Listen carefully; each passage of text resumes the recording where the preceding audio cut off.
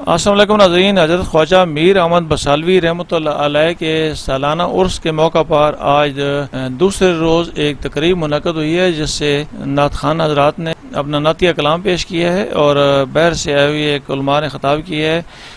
अलामा अहमद बख्श साहब ने भी खताब किया है। अपने नाजरीन को ये रिपोर्ट दिखाता हूँ। करम की जब नज़र होगी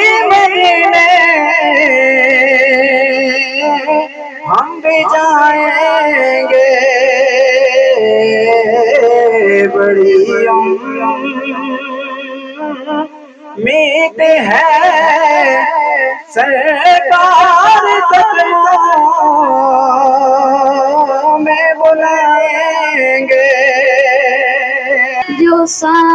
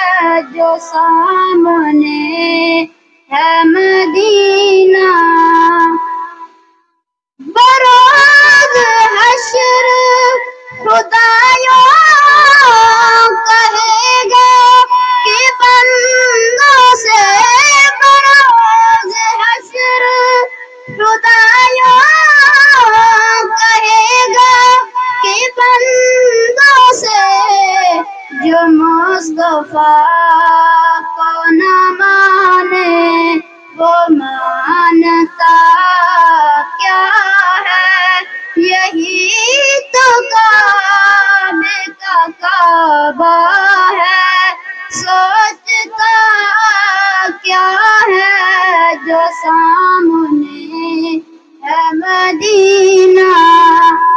चुपन से मेरे होठों पे है आका की सना बचपन से। मेरे होठों पे है आका की सना बचपन से। कोई दुनिया आता में नहीं, हम पा तेरा। वो जो हातिम कम यस है। नज़ारा तेरा उड़ के देख के बख्श से मेरे तेरा तेरा फरमाते हैं, गुलाम हश्र में जब सैयदुल वरा के चले लिवाए हमद के साय में सर उठा के चले। सरकार को अल्लाह रब्बुल इज़्ज़त झंडा अता फरमाएगा। उस झंडे का नाम है लिवाउल हमद। कमली वाले महबूब इस्लाम ने फरमाया, आदम इस्लाम से लेकर आखिरी इंसान तक तमाम मेरे झंडे के साय के नीचे होंगे। गुलाम हाशर में जब सैयदुल वरा के चले, लिवाए हमद के साय में सर उठा के चले तो उनका फक्र के रशकाए सुलेमा को तो उनका हुस्न के यूसुफ भी मुँह छुपा के चले। और नज़र बाल में पाकिजगी पड़े उन पर। ये जो हम मुर्दे को गुसल देते हैं कि वो पाकिजा हालत में दुनिया से जाए, ये मसले की बात है। जब रूह निकलती है तो इंसान नापाक हो जाता है। रूह के निकलने से इंसान पलीद हो जाता है। जब उसे गुसल दिया जाता है तो पाक और मुताहर हो जाता है। और उस गुसल की वजह क्या है?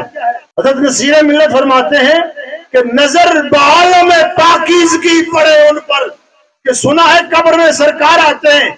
जब सरकार का जलवा नज़र आए तो हुजूर का जो आशिक है, हुजूर का जो गुलाम है, हर कौम, हर मसलक, हर उम्मत अपने मुर्दे को अपने अंदाज से दुनिया से भेजती है। हम मुसलमान कोई जलाता है किसी का क्या अंदाज है? हम मुसलमान नहलाकर, धुलाकर, गुसल देकर, खुशबुएँ लगाकर, सफ़ेद चादर से तंग करके दुनिया से रुखसत करते हैं। उसकी वजह क्या है कि नज़र बाल में पाकिजगी पड़े उन पर। मुसाफरान लहद इसलिए नहा के चले। और नसीर कौन है उनके सिवा रसूल ऐसा? जो बख्शवाने पे आए तो बख्शवा के चले। ये क्यामत का मंजर होगा जब सारे रसूल, सारे नबी खड़े होंगे, उम्मत उनके पास जाएगी। सारे रसूल ये कहेंगे, नफसी नफसी इस गैरी। आज तो हमें अपनी जान की पड़ी है, किसी और के पास जाए। ताकि सारे रसूल, सारे नबी, आदम इस्लाम से लेकर आखिरी इंसान तक कमली वाले महबूब इस्लाम की बारगाह में हाजिर हो गए सरकार नहीं फरमाएँगे, जबू गैरी। सरकार फरमाएँगे, अना लहा अना लहा। आज का दिन तो मेरे लिए है इसी काम के लिए तो रब ने मुझे पैदा फरमाया था। आज का दिन तो मेरे लिए है। वो किसी ने कहा, हर नज़र काँप उठेगी। माशर के दिन खौफ से हर कलेजा दहल जाएगा। काले कंबल ओढ़ कर वो आ जाएँगे। क्यामत का नक्शा ही बदल जाएगा। जहाँ सारे अंबिया इनकार कर देंगे वो हजूर फरमाएँगे अनलहा इसी का तर्जमा किया है। अगर नसीर मिल्लत ने कि नसीर कौन है? उनके सिवा रसूल ऐसा जो बख्शवाने पे आए तो बख्शवा के चले। आम आस्ताना नहीं है, बल्कि इस आस्ताने की निस्बत उस आस्थाने के साथ है जिसने बड़े सगीर पाको हिंद के अंदर सिलसिला आलिया चिश्तिया का वो निज़ाम जिसको ख्वाजा खाजगा ख्वाजा मुइनुद्दीन चिश्ती अजमेरी ने शुरू किया था, वो निज़ाम तकरीबन पूरे बड़े सगीर के अंदर इसी आस्थाने ने और ख्वाजा खाजगा ख्वाजा शाह सुलेमान तोसरी रहमत ने इस पूरे निज़ाम को फैला दिया है और ये जो हमारी नस्बतें उनके साथ कायम दायम है, वो इसी आस्थाने की वजह से है कि यहाँ पर ख्वाजा खाजगा ख्वाजा अमीर अहमद बसालवी रहमत जैसी शख्सियत हमें अल्लाह की तरफ़ से रहमत बनकर मिली है। कह दीजिए सुबह अल्लाह ये अल्लाह की रहमतें होती हैं और अल्लाह की बरकतें होती हैं उस इलाके पर जहाँ पर अल्लाह अपना वली भेज देता है। इसलिए कि इमाम राज़ी रहमत और इसी के जनाब इमाम गजाली ने भी लिखा, फरमाया, जिस इलाके के अंदर अल्लाह का वली हो बल्कि जिस रास्ते से अल्लाह का वली गुजर जाता है, अल्लाह उस रास्ते में भी अपनी रहमतों का नजूल फरमाता है। और फिर वली जिस लिबास को पहनता है, अल्लाह उस लिबास में भी बरकत अता फरमाता है। अल्लाह का वली जिस रास्ते से गुजर जाता है, जिस चीज़ को हाथ लगाता है, अल्लाह उसमें भी बरकत आता फरमा देता है। और फिर वली भी हो खाजा खाजगा खाजा अमीर अहमद बसालवी जैसा, जिसको नस्बतें हासिल है खाजा खाजगा खाजा सलमान, शाह सलमान तोसवी रहमत अलामा इकबाल रहमत बाद में तशरीफ़ लाए।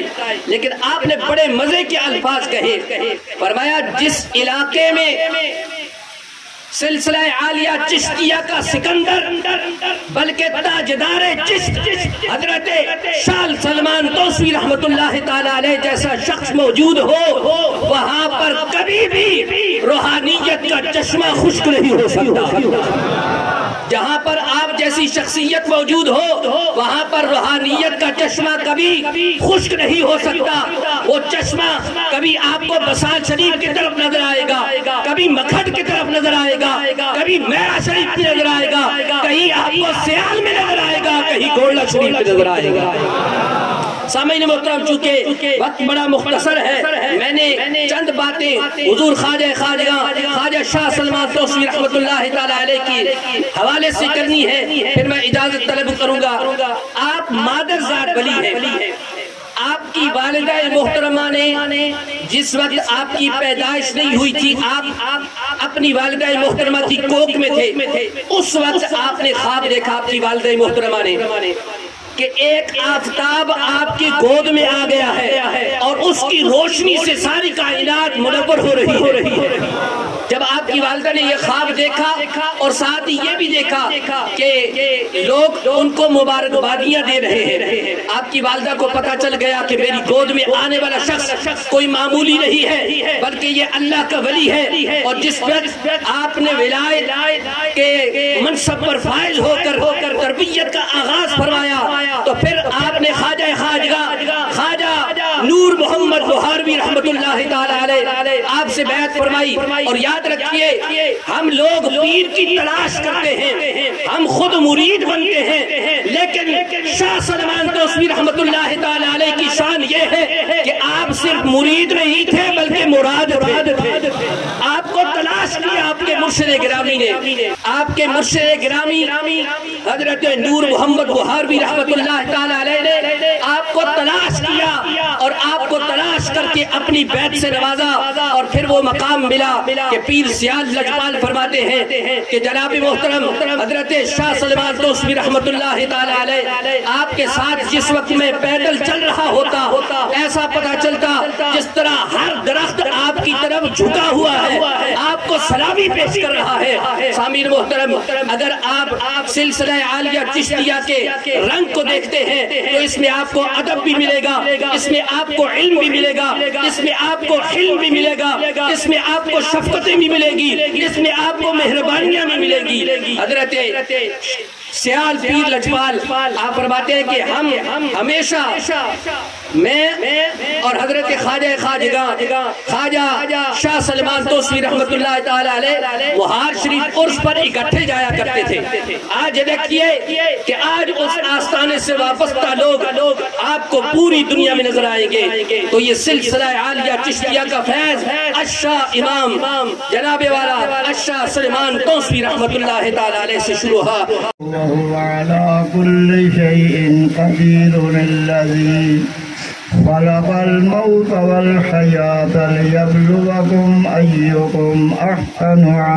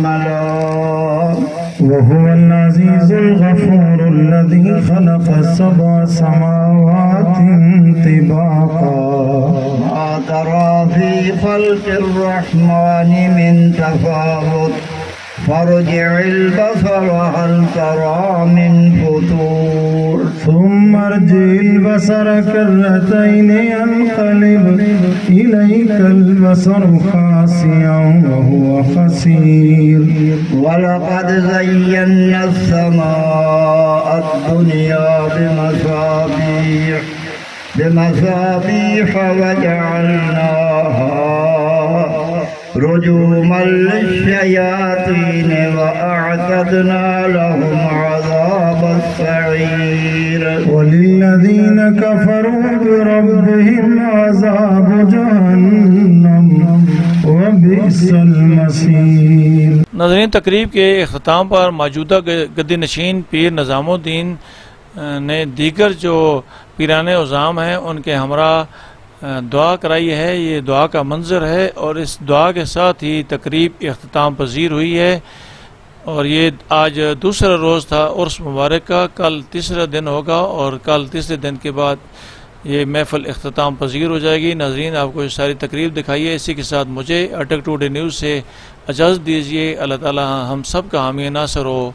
अल्लाह हाफ़ जी।